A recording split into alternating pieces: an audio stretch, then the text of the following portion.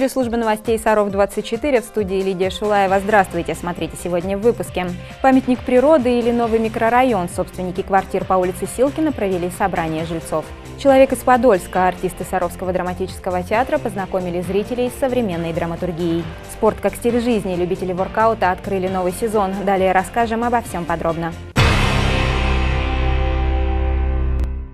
Депутаты продолжают обсуждать первую корректировку бюджета текущего года. На очередном заседании профильного комитета они обсудили поправки к документу. Часть из них были отклонены или отправлены на доработку. Так, например, в ближайшее время будет решаться вопрос с ремонтом котельной в лагере «Березка». На ее реконструкцию в бюджете заложено 5 миллионов рублей. Директор лагеря и по совместительству депутат Станислав Власов утверждает, что для полноценной замены котла и оборудования необходимо в два раза больше. Ситуацию обсудят в администрации как заверили народных избранников на заседании комитета, срыва начала сезона в лагере допущено не будет. К другим новостям, в то время как одни собственники обсуждают благоустройство дворов и работу управляющих компаний, другие всерьез озадачены значительно более глобальными вопросами, например, судьбой лесного массива, который является частью природного памятника нашего города. При застройке микрорайонов 1А и 1Б планируется вырубить более 100 его гектаров. На очередное собрание, посвященное этой теме, горожане пригласили и нашу съемочную группу.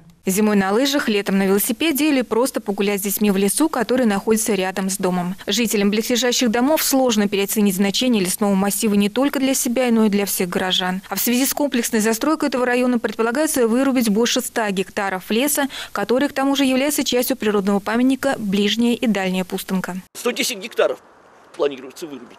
Сначала пол гектара под детскую поликлинику, пол гектара, а потом 110 гектаров. Понимаете, это квадрат, километр на километр. Вот отсюда до памятника Серафиму Сарусскому полтора километра всего. Вы представляете, весь этот массив будет уничтожен. Мы не против строительства детской поликлиники, мы за спасение Серафимовского леса. Другим аргументом в пользу сохранения леса и переноса строительства стало расположение в лесу новой водозаборной скважины, которая имеет санитарные охранные зоны. А комплексная застройка микрорайона нарушает границы водозабора. А что такое наползание на водозабор?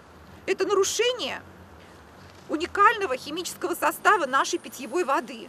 Истоки, которые будут от строительства, от продуктов жизнедеятельности человека, конечно же, нарушат эту чистую воду. То есть это тоже одна из весомых причин, которая просто не позволяет вырубать лес. Тому же, в соответствии с региональными нормативами по проведению строительства и эксплуатации зданий и сооружений, территория Сарова относится к стопроцентной закарстовой территории. То есть в земле есть залежи растворимых пород, таких как известняк и доломит. И при вымывании их водами возможны провалы грунта. Он защищает нашу территорию от карстовых провалов, потому что корни деревьев укрепляют грунт, и не дают дождям и потокам вод при таянии снегов Э, размывать песочную вот структуру почвы. Очередные публичные слушания по комплексной застройке микрорайона 1А и 1Б пройдут в актовом зале администрации 27 апреля в 17.00. Елена Грицкова, Владимир Лисик, Александр Мальков, служба новостей Саров-24. Подробнее о планах застройки микрорайонов 1А и 1Б, а также об особенностях проекта планировки, который представит жителям на общественных обсуждениях 27 апреля, смотрите в новом выпуске программы «На самом деле». Он выйдет в эфир уже в ближайшее время. Институт генплана Москвы выиграл конкурс на проектирование этой территории. Сначала москвичи подготовили пять эскизных проектов, затем были обсуждения, были замечания. После этого был подготовлен один проект, вынесенный на публичные слушания. И именно этот вариант мы будем обсуждать с нашим сегодняшним гостем Игорем Калашниковым, архитектором. Саровские приставы проведут акцию «Узнай о своих долгах». Информацию о дате возбуждения исполнительного производства, о сумме задолженности, требованиях, содержащихся в документе, можно узнать на сайте судебных приставов в разделе «Банк данных исполнительных производств». Запросить информацию и подать заявление можно также с помощью портала госуслуг. По всем интересующим вопросам горожане могут обратиться в Саровский районный отдел Управления Федеральной службы судебных приставов по адресу Мира 34. Другая важная информация в подборке коротких новостей.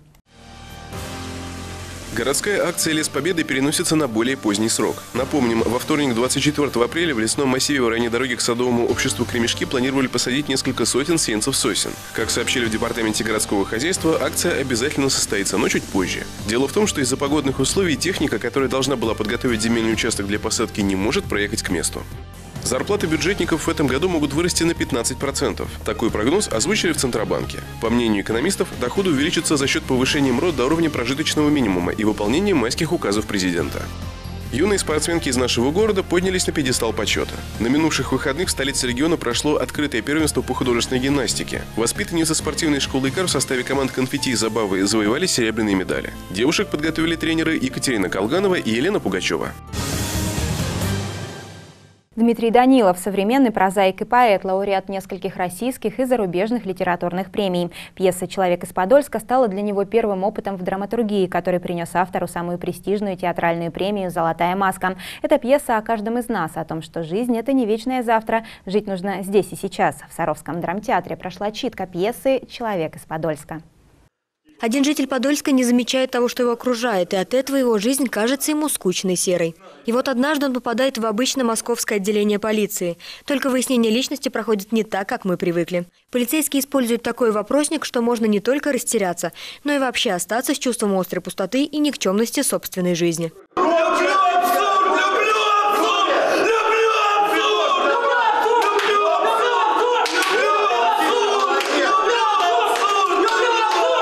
С одной стороны, сюжет кажется абсурдным, но вскоре понимаешь, что он как никогда реалистичен. Место для проведения читки тоже выбрали нестандартное. Вместо привычного зала зрители отправили в подвальное помещение, что только придало действию антуража. В карьере Елизаветы Казачковой это первая читка. Это что-то новое однозначно для театра, потому что сама форма – это читка, это не спектакль, артисты не прикрыты ничем, ни музыкой, ни светом, ничем абсолютно. То есть только мы и голый текст.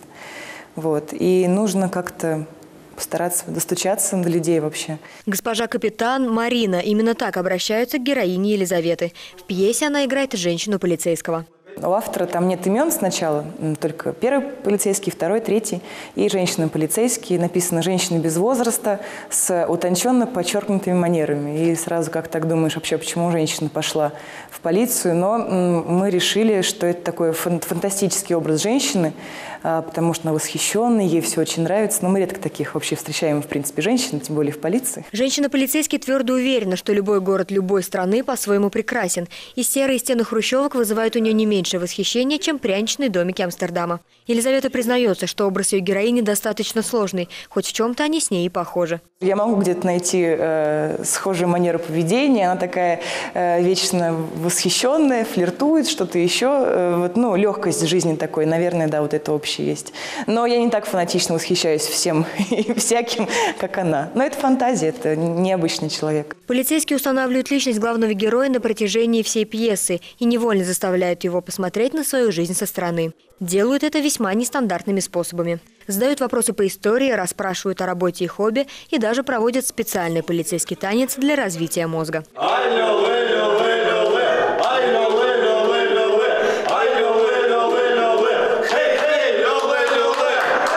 Мария Рунч, Владимир Лисик. Служба новостей Саров-24.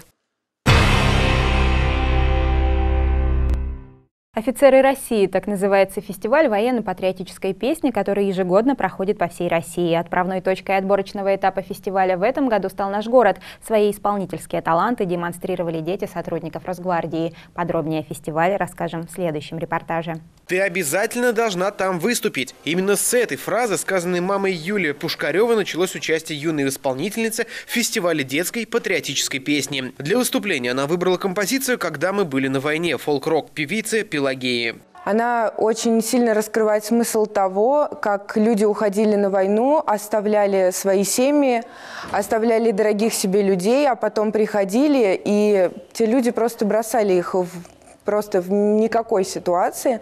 И эта песня очень раскрывает именно патриотизм. Уверенность в себе девушки не занимать. За плечами почти 10 лет занятий пением, сотни концертов и выступлений. На сцене Юля, по собственному выражению, кайфует от того, что делает. Патриотическое направление в концертах и фестивалях считает правильным и необходимым в нынешние времена. Некоторые сейчас просто не хотят идти в армию из-за того, что это мешает их жизни, это лишний год. Я считаю, что это совсем не лишний год, это именно патриотическое воспитание, это именно тот стиль, та закалка, которая должна быть в русском народе. К участию в фестивале патриотической песни допускаются только дети сотрудников Росгвардии со всей страны. Мальчишкам и девчонкам предстоит показать вокальный максимум, на который они способны, чтобы попасть в финал в Москву. Из десятков и тысяч претендентов со всей страны на гала-концерт фестиваля организаторы отберут всего 20 человек всегда приходится отбирать. Отбирать приходится из талантливых детей, сильных детей, а, музыкальных детей. А, это не больше 10-11 коллективов, которые со всей России выйдут на сцену, на центральную сцену, на гала-концерт. Кто из саровчан попадет в число финалистов, узнаем ближе к концу этого года. И даже если на этот раз мальчишкам и девчонкам удача не улыбнется, попробовать свои силы можно будет и в следующем году. Фестиваль стал уже доброй традицией, которую организаторы намерены поддерживать и дальше. Кирилл Васенин, Владимир Лисик, Сергей Рябов. Служба новостей Саров 24.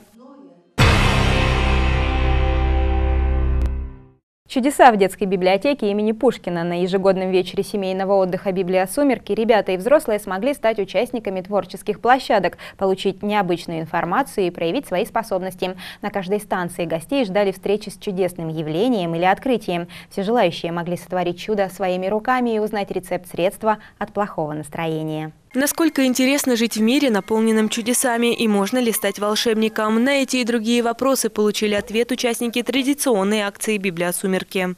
Очень важно, чтобы каждый человек, ребенок и взрослый, э, научился видеть этот чудесный мир, в котором мы живем. И не просто видеть и замечать его, чтобы эти чудеса он хотел творить своими собственными руками. Впервые организаторы акции приготовили для ребят новую площадку «Видеосалон», где всем желающим предлагалось подискутировать на тему чуда. Ребята смогли познакомиться с книгой американской писательницы Паласио «Чудо» и посмотреть экранизацию этого произведения. Фильм очень понравился, потому что он учит э, людей быть добрее и принимать людей, какие они есть, и не только по внешности. Также на площадках ребята смогли поучаствовать в фокусах, сделать поделки своими руками и прочитать стихи. Пасха, праздник самый светлый, а яйцо, известно мне, символ жизни на земле. Здесь всегда очень интересные разные акции, интересные э, конкурсы, всегда развлечения. Мне здесь очень нравится. В ближайшем будущем сотрудники детской библиотеки имени Пушкина удивят своих читателей новыми программами, посвященными 9 мая и Дню семьи. Ирина Вышегородцева, Владимир Есенников, Сергей Рябов. Служба новостей Саров 24. Направление воркаут возникло еще в конце 20 века. Его родиной стала Америка, а вернее дворовые площадки США. Сейчас это движение популярно во всем мире. В нашей стране слово воркаут довольно быстро приобрело особенный смысл. Так стали называть не столько саму тренировку, сколько стиль жизни и течение свободного фитнеса. В Сарове этот спорт только начинает развиваться, но уже приобрел немало сторонников. Зародившийся на дворовых площадках, этот вид спорта так и остался уличным. Чтобы заниматься воркаутом, сразу следует забыть о комфортном помещении спортивного зала. Проходят уличные тренировки не под чутким руководством тренера, а в окружении друзей или товарищей, которых объединяет одно стремление – заниматься спортом на свежем воздухе. В нашем городе найти единомышленников для тренировок можно в объединении воркаут Тимсаров. Ну, у меня недавно пришла хорошая идея. А что, если попробовать организовать команду? Так сказать, некий сбор. Ну, естественно, в начале этой недели я пришел на турники, увидел, какие-то ребята новенькие начали заниматься. Я им предложил объединиться. Чтобы заниматься спортом и получать хорошие результаты, не обязательно ходить в спортзал, и это доказывает воркаут. Заниматься могут все желающие, у кого нет проблем со здоровьем. Чтобы не допустить несчастных случаев, тренировки проходят по определенной схеме. Приходим, делаем какую-то базу, то есть подтягивание, отжимания, бег, пресс, а дальше по элементам. Объединение воркаут Тимсаров существует не так давно, но ребята активно продвигают этот спорт в нашем городе. Тренировки стараются проводить систематически, но все равно сталкиваются с определенными трудностями. Нам охот свой зал на зиму, потому что за, за всю зиму мы почти не тренировались. 1 мая воркаут в России отметит свой первый юбилей. В честь десятилетия во многих городах страны пройдут спортивные мероприятия. Саров не станет исключением. В этот день все желающих попробовать свои силы в воркауте приглашают на спортивную площадку жилого комплекса «Саровская ривьера» в районе пойма реки Сатис. Мария Рунч, Владимир Лисик, Сергей Рябов. Служба новостей «Саров-24». И это все, о чем мы успели рассказать вам сегодня. Следите за новостями города на нашем канале в YouTube и в группах в социальных сетях ВКонтакте, Фейсбук и Одноклассники. Также вся актуальная информация на сайте sarov24.ru. В студии работала Лидия Шулаева. Всего вам доброго и хороших вам новостей.